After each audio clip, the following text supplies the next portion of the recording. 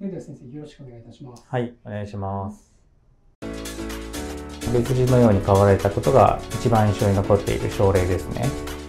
ぜひ一度カウンセリングご覧ください。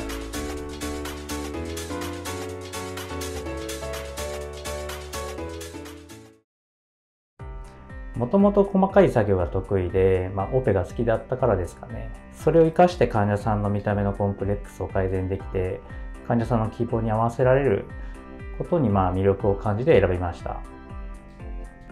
二重熊取小顔整形ですね。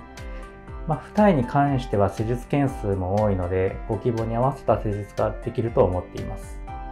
両利きなところですかね。まあ、オペ中にもまあ利き手以外の手でも細かい動きをできるというのは強みかなと思っています。まあ、小さい頃はまあ家で遊ぶというよりかは外で遊んでいました。まあ、公園とかでよく走り回っているような感じでしたね。休みの日に関してはまあ釣りが多いかもしれませんね。まあ、海が好きなんでよく行きます。まあ、なるべく休みの日は自然と触れ合うことでリフレッシュしています。小顔整形ですね。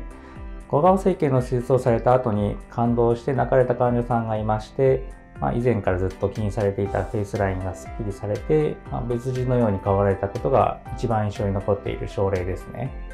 一期一会ですかね。まあ、一生に一度だけの機会という意味では、施術もやっぱり全く同じで、同じ状況というのはないので、与えられた施術を一つ一つ大切にすることです。まあ、今までやってきたことを元として、さらに知識や経験をアップデートして、スキルアップしていくことを心がけています。まあ、TCB にご覧いただいた際には、カウンセリングで悩みを聞いて、患者さんに満足できるサービスを提供して、まあ、少しでもお役に立てればなと思っております。ぜひ一度カウンセリングご覧ください。